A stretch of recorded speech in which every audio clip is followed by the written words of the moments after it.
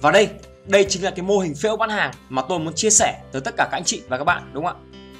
Chúng ta cũng đã nghe đến rất nhiều khái niệm về phễu bán hàng đúng không ạ? Vậy thì đơn giản, đây, đây chính là cái mô hình phễu bán hàng. Chúng ta sử dụng những cái chiến lược là quà tặng miễn phí này, giá thấp này, dùng thử này, đúng không ạ? Và kết hợp ba chiến lược này với chiến lược tạo sự khan hiếm để chúng ta hút được khách hàng đúng không ạ chúng ta hút được khách hàng vào tầng đầu tiên này đúng không ạ để cho họ biết đến chúng ta đúng không ạ? Họ biết đến sản phẩm dịch vụ của chúng ta họ biết được chúng ta là ai. Và tiếp tục xuống tầng 2, tầng 3 chúng ta tiếp tục chăm sóc họ đúng không ạ? Chúng ta tiếp tục mang lại nhiều giá trị cho họ. Chúng ta tiếp tục gửi email cho họ đúng không ạ? Chúng ta tiếp tục tặng quà cho họ. Và cứ thế cứ thế chúng ta tiếp tục chăm sóc chăm sóc. Và họ sẽ có cơ hội trở thành khách hàng của chúng ta. Và chúng ta sẽ bán được hàng và không những chúng ta bán được hàng một lần mà chúng ta có thể bán được hàng nhiều lần. Đúng không ạ? Đây chính là cái mô hình phễu đây chính là cái mô hình phễu sale funnel đó ạ. Chúng ta phải sử dụng những cái mồi mồi ngon, những cái quà tặng, đúng không ạ? Như tôi đã chia sẻ, để tạo mồi, những cái quà tặng đó để chúng ta thu hút được khách hàng, chúng ta lấy được data của khách hàng, đúng không ạ? Khi mà họ chui vào phễu đấy, đây, khi mà họ chui vào phễu với những cái chiến lược như là tặng quà này giá thấp này, dùng thử này, sự khan hiếm này, đúng không ạ? Họ đã chui vào phễu rồi. Thì chúng ta sẽ lấy được data khách hàng của họ, đúng không ạ? Nhiều người nói với tôi rằng là họ không biết phải tặng cho khách hàng của họ cái gì, đúng không ạ? Họ không biết là phải chia sẻ cái gì cho cộng đồng chẳng hạn. Tôi có một câu nói muốn chia sẻ tới các anh, các chị và các bạn. Và chúng ta cần phải ghi nhớ rằng, mỗi chúng ta sinh ra trên thế giới này đều có một cái tài năng nào đó, đúng không ạ? Người thì rất giỏi dạy đàn này, người thì giỏi ngoại ngữ, dạy tiếng anh người thì biết bơi, biết dạy bơi, biết nấu ăn, đúng không ạ? Người thì giỏi về internet marketing, đúng không ạ? Ví dụ như tôi tôi đang chia sẻ với các anh, các chị và các bạn. Những cái kiến thức, kinh nghiệm của tôi, cách làm về internet marketing, đúng không ạ? Người thì giỏi cắm hoa, người thì gọi, người thì giỏi dạy toán chẳng hạn, vân vân. Chính vì vậy mà chúng ta đều có những cái giá trị nào đó để chia sẻ cho người khác, đúng không ạ? Những cái giá trị mà cộng đồng cần, đúng không ạ? Vậy thì chúng ta cần phải chia sẻ tài năng của mình, hiểu biết của mình tới người khác. Và qua đó thì chúng ta sẽ nhận được danh sách khách hàng thôi ạ. Các anh, các chị và các bạn, hãy tin tôi đi. Hãy làm đi, hãy chia sẻ giá trị của mình với cộng đồng nhé. Và chúng ta sẽ nhận được data của khách hàng, đúng không ạ? Chúng ta tạo phễu và chúng ta sẽ lấy được contact của họ, đúng không ạ? Và chúng ta không dừng lại ở đó. Chúng ta cần phải học tập và rèn luyện hàng ngày. Chúng ta cần phải như một chuyên gia các anh, các chị phải nhớ nhé chúng ta chỉ cần như một chuyên gia thôi. Chúng ta cần như một chuyên gia trong lĩnh vực của chúng ta, đúng không ạ? Cần 10.000 giờ làm việc để bạn trở thành một chuyên gia, đúng không ạ? Nhưng 10.000 giờ thì đến bao giờ? Thì chúng ta mới có thể chia sẻ được cho người khác. Chúng ta mới tự tin, dám chia sẻ cho người khác, đúng không ạ? Vậy thì chúng ta vẫn có thể chia sẻ những cái điều đơn giản, từ đơn giản đến phức tạp, đúng không ạ? Như một chuyên gia chứ không cần nhất thiết chúng ta phải là một chuyên gia. Chúng ta cũng không cần nhất thiết chúng ta cần phải luyện tập và làm việc 10.000 giờ trong cái lĩnh vực đó, đúng không ạ? Chúng ta vẫn có thể chia sẻ những cái giá trị của mình, chia sẻ những cái giá trị nào đó của mình hữu ích tới cộng đồng như một chuyên gia, đúng không ạ? Và trong thời gian, và qua thời gian, chúng ta cần phải thường xuyên trau dồi, đúng không ạ? Rèn luyện hàng ngày để nâng cao cái khả năng, kiến thức của chúng ta lên, đúng không ạ? Và dần dần thì đến một lúc nào đó chúng ta sẽ trở thành một chuyên gia đích thực, đúng không ạ? Đây gọi là hối lộ qua đạo đức, đúng không ạ? Cách mà chúng ta có thể lấy được phễu đầu vào, chúng ta có thể lấy được data khách hàng, đúng không ạ? Chúng ta có thể tạo ra mồi để thu hút được contact của khách hàng tiềm năng. Đây. Đây chính là hối lộ qua đạo đức. Tặng sách miễn phí này, đúng không ạ? Chúng ta tặng video này, tặng khoa học miễn phí này, tặng webinar này, tặng những cái sản phẩm, dịch vụ này. Và rồi khách hàng của chúng ta họ sẽ điền tên này, email, đúng không ạ? Vào hệ thống của chúng ta. Và chúng ta sẽ lấy được thông tin của khách hàng, chúng ta sẽ lấy được họ tên, email, thậm chí là cả số điện thoại của họ nữa, đúng không ạ? Chúng ta có thể tạo ra những cái cơ sở dữ liệu về khách hàng để chúng ta có thể chăm sóc và bán hàng cho họ, đúng không ạ? Chúng ta tạo phễu thì khách hàng sẽ chui vào phễu của chúng ta, đúng không ạ? Họ sẽ từ xa lạ trở thành biết chúng ta là ai, biết chúng ta bán cái gì, chúng ta có sản phẩm gì. Chúng ta liên tục chia sẻ những cái giá trị của mình cho họ. Họ cần những cái giá trị đó và họ dần dần họ sẽ thích, đúng không ạ? Và họ thích rồi thì chúng ta lại tiếp tục cho họ tiếp tiếp tục chăm sóc. Và dần dần họ sẽ tin chúng ta. Chúng ta cho họ dùng thử sản phẩm, đúng không ạ? Cho họ trải nghiệm sản phẩm của chúng ta tốt như thế nào, tác dụng như thế nào, đúng không ạ? Và sau đó chúng ta sẽ giới thiệu sản phẩm của mình. Và sau đó chúng ta mới bán hàng cho họ, đúng không ạ? Thì tỷ lệ mua hàng sẽ rất là cao. Và khi họ mua hàng rồi, thì họ có thể chia sẻ những cái sản phẩm của chúng ta cho người khác, đúng không ạ? Chúng ta cần, các anh, các chị và các bạn phải nhớ rằng nhé, chúng ta cần phải cho đi. Không những cho đi một lần và phải cho đi rất nhiều lần. Để rất nhiều người biết được chúng ta là ai. Để cho rất nhiều người thích chúng ta để cho khách hàng thích chúng ta hơn, tin tưởng chúng ta hơn, đúng không ạ? Và nhiệm vụ của chúng ta là phải làm sao để cho khách hàng ngày càng tin yêu, tin tưởng, trở thành fan cuồng của chúng ta, đúng không ạ? Thì chúng ta bán hàng cho họ rất là dễ dàng. Không những bán hàng được một lần mà chúng ta có thể bán được nhiều lần cho họ. Chúng ta có thể bán được nhiều hàng hơn, bán hàng với giá trị cao hơn cho họ, đúng không ạ? Chúng ta cần phải có một tài năng. Chúng ta cần phải có một cái giá trị nào đó để trao cho cộng đồng, đúng không ạ? Và các bạn các anh, các chị phải nhớ rằng tiền ấy chỉ là hệ quả của giá trị chúng ta trao đi thôi. Đúng không ạ? Chúng ta trao đi giá trị càng nhiều, chúng ta có cộng đồng càng lớn, chúng ta có nhiều người yêu quý chúng ta, đúng không ạ? Thì chúng ta sẽ càng ngày có càng nhiều tiền thôi. Tiền chỉ là hệ quả của giá trị chúng ta trao đi. Chúng ta xây dựng được một cái cộng đồng càng lớn, chúng ta có càng nhiều fan, thì chúng ta càng có nhiều tiền. Các anh, các chị phải nhớ rằng nhé, money chính là bằng với danh sách khách hàng tiềm năng của chúng ta. Tại sao mà tôi phải nhấn mạnh chữ tiềm năng ạ?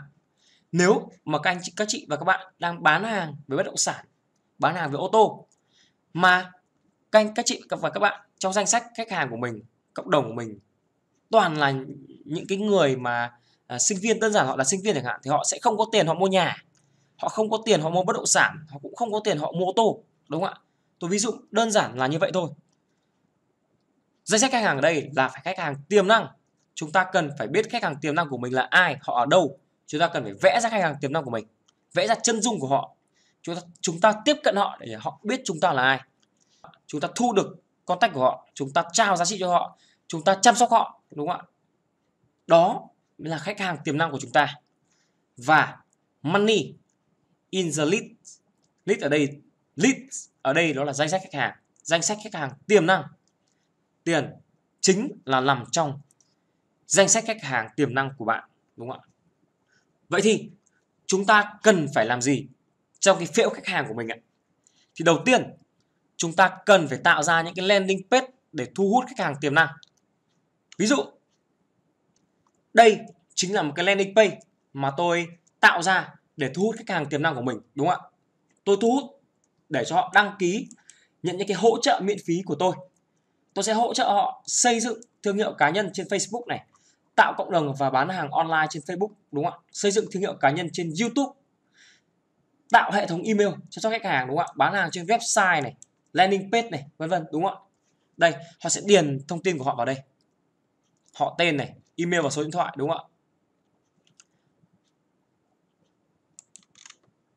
Hoặc là tôi đang làm với một hệ thống đầu tư chứng khoán, thì để mà họ có thể nhận được những cái bản tin thị trường, nhận định, đánh giá khách hàng, nhận định những nhận định, đánh giá về thị trường hàng ngày, hàng tuần, thì khách hàng cần phải điền tên này, email và số điện thoại vào đây. Đây chính là cái landing page để tôi thu hút được danh sách khách hàng. Vậy thì landing page của các bạn càng phải đẹp, càng tốt, càng thu hút thì càng tốt, đúng không ạ?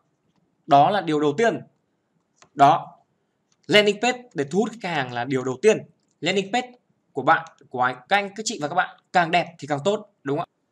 Tiếp theo khi mà chúng ta đã có landing page rồi đúng không ạ? Thì chúng ta cần phải quảng bá quảng bá landing page đó để hút traffic về. Chúng chúng ta tạo ra được một cái bảng một một cái form điền rồi thì chúng ta cần phải hút khách hàng vào. Thì chúng ta có thể sử dụng uh, quảng cáo qua Facebook này qua Facebook uh, cá nhân này chúng ta có thể chạy quảng cáo Google AdWords này đúng không ạ? Chúng ta hoặc là chúng ta có thể sử dụng uh, video trên YouTube để kéo họ vào họ đăng ký cái form của chúng ta đúng không ạ? Hoặc chúng ta có thể sử dụng blog website vân vân. Có rất nhiều cách để chúng ta có thể quảng bá được cái landing page hút được traffic đúng không ạ? Để cho khách hàng truy cập vào landing page đó và điền thông tin của họ vào đúng không ạ? Rất nhiều lĩnh vực. Theo thống kê thì có rất nhiều người sẵn sàng chi trả từ 50 đến 100 nghìn để có một cái email opt-in đúng không ạ? Để có một cái email chất lượng nữa thứ ba là chúng ta cần phải kết nối landing page đó với một cái phần mềm email marketing đúng không ạ? Sẽ có rất nhiều phần mềm email marketing mà ở đây tôi muốn chia sẻ và giới thiệu tới các anh các chị và các bạn. Một cái phần mềm đó là GetResponse đúng không ạ? Đây là một cái phần mềm mà đối với những cái người mà à, đối với những anh chị và các bạn nào mà mới chúng ta bắt đầu làm việc với email marketing thì chúng ta có thể sử dụng GetResponse nó rất là dễ dùng thôi và nó phù hợp với những cái bạn nào mà có cái ngân sách nhỏ những cái gói nhỏ ấy thì cái gói nhỏ nhất của nó đó là 15 đô một tháng đúng không ạ? Cộng với một landing page. Nếu mà các anh các chị và các bạn muốn sử dụng nhiều landing page thì chúng ta cần phải trả thêm 15 đô nữa là 30 đô một tháng đúng không ạ?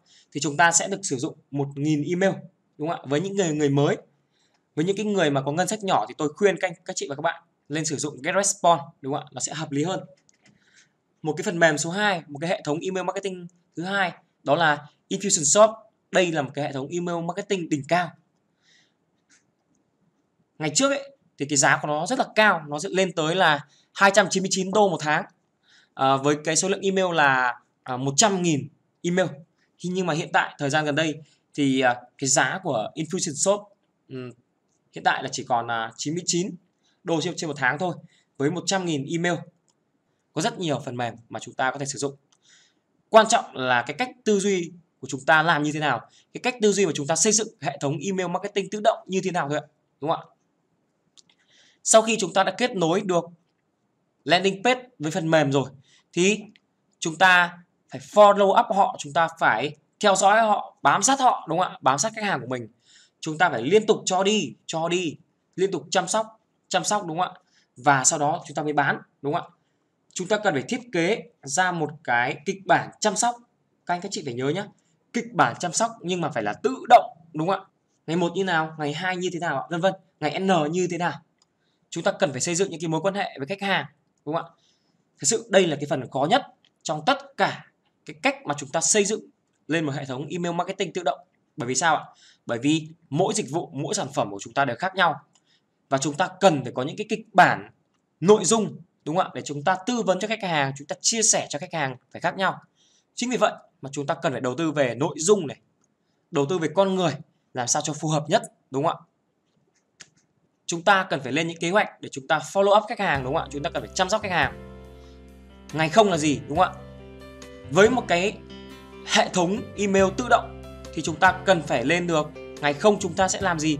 Ngày không ở đây ấy, chính là một cái thư mà chúng ta trả lời một cách tự động đúng không ạ? Một email mà gửi đến khách hàng khi mà họ vừa nhấn vào cái link xác thực trong email khi mà các anh, các chị và các bạn đăng ký cái form trên landing page của tôi, đúng không ạ? Thì tự động hệ thống sẽ gửi tới các anh, các chị và các bạn một cái mail đòi hỏi chúng ta phải đòi hỏi các anh, các chị và các bạn phải xác thực rằng các anh, các chị và các bạn đồng ý tự nguyện nhận mail từ tôi, đúng không ạ?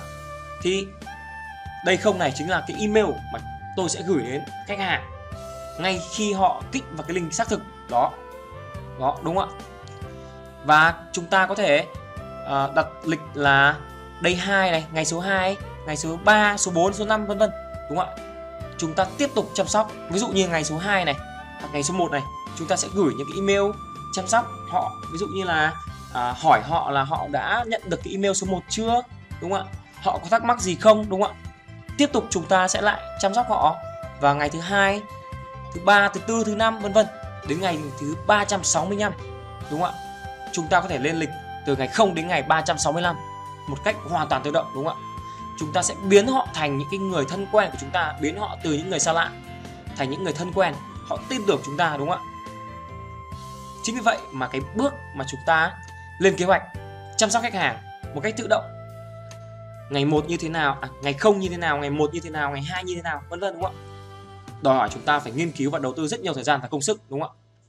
Đây chính là cái hệ thống email auto responder, automation, hệ thống hoàn toàn tự động, đúng không ạ? Hoàn toàn tự động và sẽ mang lại cho chúng ta rất nhiều hiệu quả, rất nhiều hiệu quả lớn. Vậy thì trong cái video tiếp theo, tôi sẽ hướng dẫn, chia sẻ tới các anh, các chị và các bạn cách thức mà chúng ta sử dụng cái công cụ email marketing cái response như thế nào, đúng không ạ?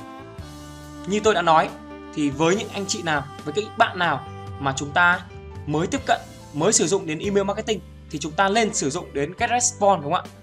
Với những cái gói uh, chi phí khá là hợp lý. Chỉ 15 đô với 1.000 email đúng không ạ? Thì chúng ta có thể bắt đầu làm việc với email marketing bắt đầu làm việc với GetResponse đúng không ạ? Vậy thì trong cái video sau tôi sẽ chia sẻ và hướng dẫn các anh các chị và các bạn cách thức mà chúng ta có thể đăng ký thiết lập một cái tài khoản get response sử dụng miễn phí 30 ngày như thế nào đúng không ạ?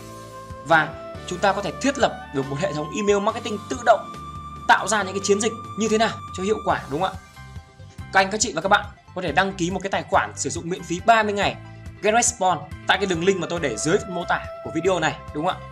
Và buổi sau tôi sẽ hướng dẫn các anh, các chị và các bạn một cách chi tiết để chúng ta có thể xây dựng được một cái hệ thống email marketing tự động, hiệu quả. Và các anh, các chị và các bạn đừng quên là chúng ta nên tìm hiểu và đọc cuốn sách bí mật.com để chúng ta có thêm nhiều kiến thức tư duy về phệ bán hàng, đúng không ạ?